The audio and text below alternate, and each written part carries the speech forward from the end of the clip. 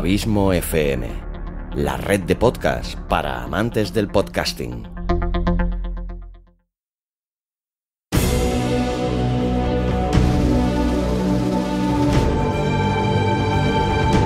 Una producción de Abismo FM y Producciones Carballés, creada para todos aquellos que quieren disfrutar de su tiempo libre escuchando grandes historias.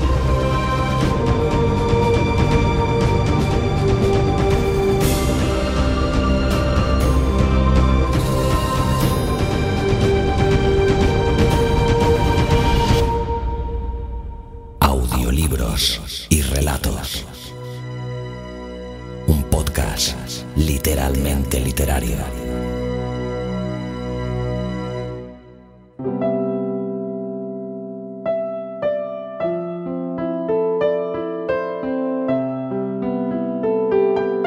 Hola, bienvenida, bienvenido un día más a Audiolibros y Relatos.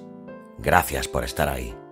Mi nombre es Xavi Villanueva y en este nuevo capítulo, el número 38 de esta segunda temporada, te traigo un nuevo creepypasta de los que publico mensualmente en el fantástico podcast Días extraños del genial Santi Camacho.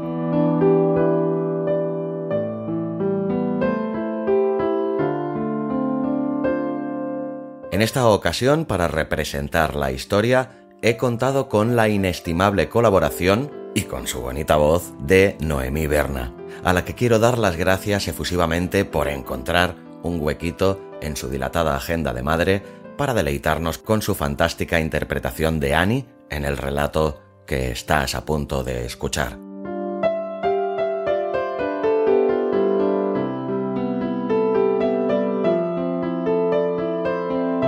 Pero antes de dejarte con la presentación de Santi, quiero anunciarte que a partir de la semana que viene, con motivo de la celebración del primer aniversario de este podcast con su nombre actual de audiolibros y relatos, y que además representó la llegada a Abismo FM de Luis Carballés como gran fichaje mediático de la red, hemos decidido haceros un regalo, y de los gordos, y premiaros durante tres semanas consecutivas con una adaptación que hemos hecho de unas antiguas funciones de radioteatro de unos genios del humor. ¿Te gusta el humor de los hermanos Marx? Pues, a partir de la semana que viene, vas a poder disfrutar de tres capítulos de Groucho y Chico, abogados.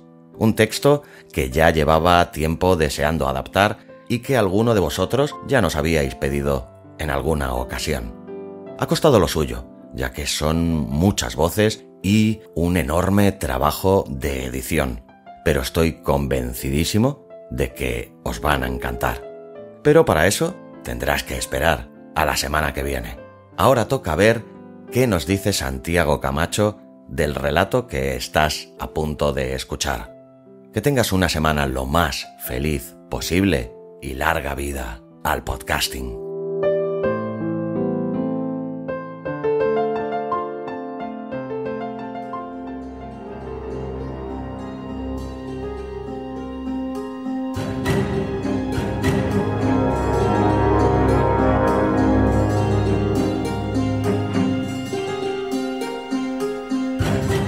Toda esta situación del confinamiento le ha dado un nuevo sentido, un nuevo significado, un nuevo protagonismo a las aplicaciones con las que nos comunicamos con los demás. Gracias a ellas hemos tenido a esas personas que queremos, que nos importan, a nuestros familiares, a nuestros amigos, un poquito más cerca en la lejanía.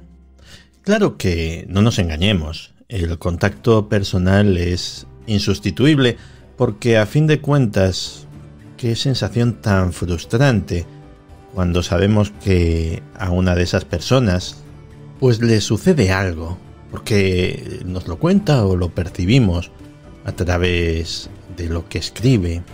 Y no podemos ir a ayudarla, no podemos ir a confortarla, aunque a veces a veces la cosa se puede poner mucho peor, porque a veces, a veces suceden cosas demasiado extrañas como en esta creepypasta que, como siempre, nos trae el genial Xavi Villanueva.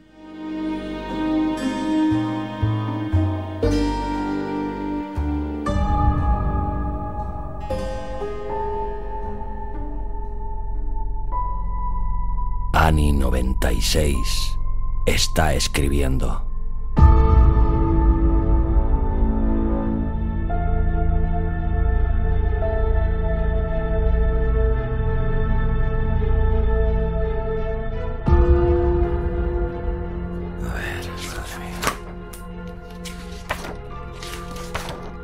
Estoy harto ya de tanto estudiar. ¿Qué estará haciendo Annie? ¡Hombre! ¡Telepatía! ¿Estás dormido? Eh, no, supongo que tú tampoco. No puedo hacerlo. Es el viento. Suena como gatos peleando. ¿Cuál es tu excusa? Estudio.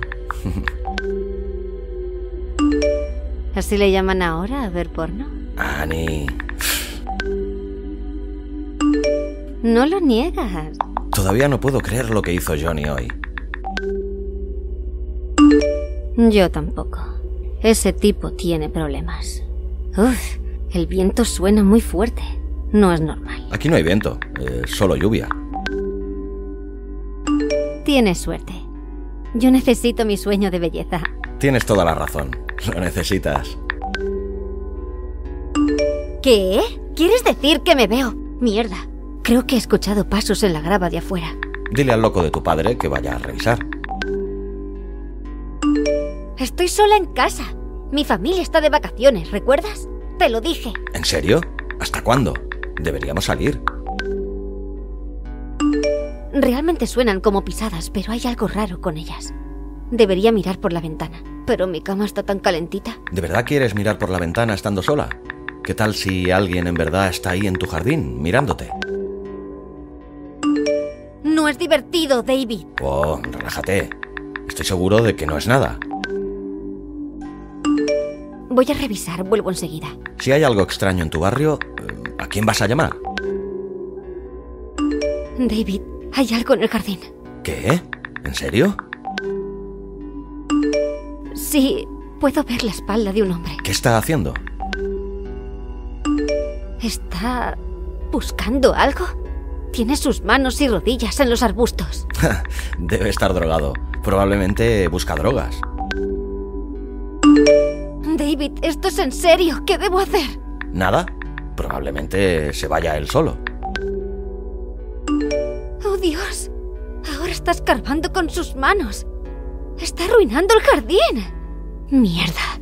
Se está dando la vuelta. ¿Cómo es? David, esto no es gracioso. ¿Qué? ¿Cómo estás haciendo eso? ¿De qué estás hablando? Puedo verte en mi jardín. ¿Cómo puedes estar escribiendo sin tocar tu móvil? Mira arriba. Estoy en la ventana, ¿no oyes que la golpeo? Mierda, Annie, ahora eres tú quien me asusta. Definitivamente no estoy en tu jardín. Ese no soy yo. Deja de jugar. Puedo ver tu cara. Y estás usando esa estúpida chaqueta de fútbol que tanto te gusta. Debe ser alguien parecido a mí.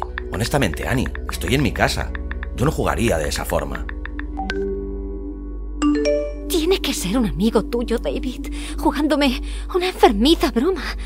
¿Quién más podría estar usando tu chaqueta? Hay muchas chaquetas como esa. Mis amigos no se parecen en nada a mí. Solo me tienes en tu mente. Está escarbando de nuevo. Vete al infierno. Annie, ¿tienes un arma en casa? No seas estúpido, David. No podría dispararle a nadie. No tienes que usarla.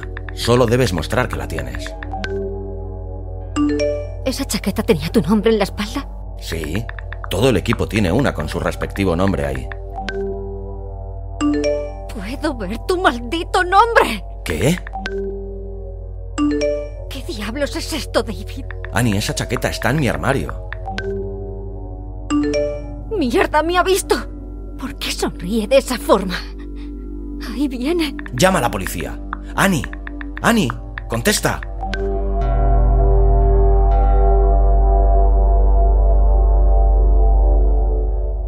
Llamé a la policía. Les dije que intentaron entrar en tu casa. Dijeron que van en camino, pero que tardarán media hora. Annie, ¿estás ahí?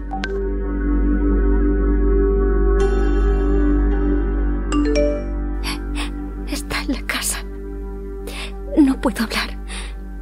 Estar en silencio. Apagué las luces. Estoy en el armario con un cuchillo. Es difícil escribir. Tiemblo mucho. Mierda, mierda. Aguanta, Yanni. La policía llegará en 20 minutos. ¿Sabes dónde está él? Eso. No. No, él. La, la expresión que tenía cuando me miró David.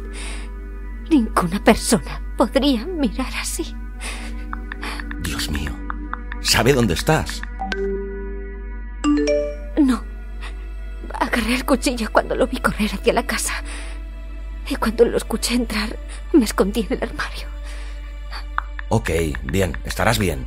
Un drogadicto no tiene el cerebro para encontrar a alguien escondido en un armario. La policía llegará pronto.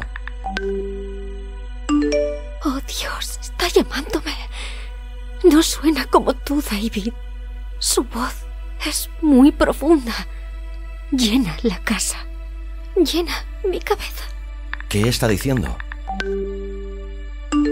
Sal, Annie. Solo quiero verte. Sigue repitiéndolo una y otra vez. Me he vuelto loca, David. Solo diez minutos más, Annie. Aguanta. Eres fuerte. Puedes soportarlo. Está subiendo por las escaleras, muy lentamente, con pasos irregulares. ¿Por qué se ve como tú, David? ¿Por qué tú? No lo sé, Annie. Por favor, créeme. ¿Puedes hacer que pare? Por favor, haz que pare. Lo haría si pudiera, te lo juro. Está al final del pasillo. David, no le dije nada a mis padres cuando se fueron. Estaba escuchando música. Los volveré a ver. Annie, Esto tiene que ver contigo, David. Solo tú puedes detenerlo. Piensa rápido. no lo sé, Annie, Dios, por favor. Por favor. Podría ser porque pienso mucho en ti. Pienso en ti todo el tiempo. Pues detente. No sé cómo. Está raspando algo en las paredes. Algo se acerca. Por favor, David. Lo estoy intentando. Hago lo que puedo. Se está deteniendo. Esfuérzate más. Lo que sea que estés haciendo está funcionando. Se detuvo. No puedo escuchar nada. ¿En serio? No salgas todavía. Espera a que la policía llegue. ¿Qué debería decirle si ya se fue? Todo, Annie, todo. Todo lo que me dijiste a mí. No sabía que sentías eso por mí, David. Me alegra mucho que se detuviera. ¿Puedes venir por la mañana, David? Realmente necesito verte. Por supuesto, Annie. Ahí estaré. Genial. No puedo esperar. Eh, oye, Annie. Una cosa. ¿Cómo sé que eres tú quien me contesta? Annie 96 se desconectó.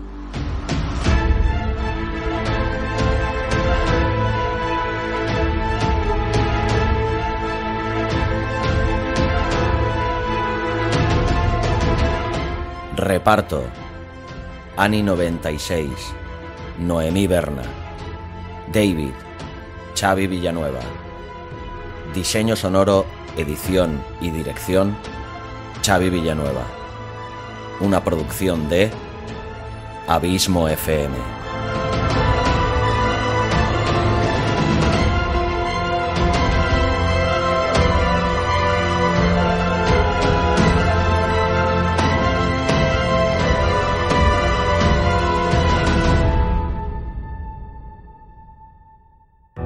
Si te ha gustado el relato, ayúdanos compartiéndolo en tus redes sociales. Nos encontrarás tanto en Facebook como en Twitter como Abismo FM y Producciones Carballés, respectivamente. Escríbenos o envía tus sugerencias desde la página de contacto de las webs abismofm.com o produccionescarballés.com.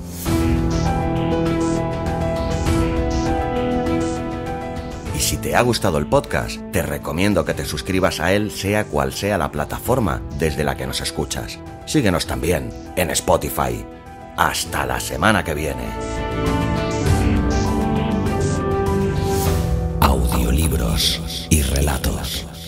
Un podcast literalmente literario.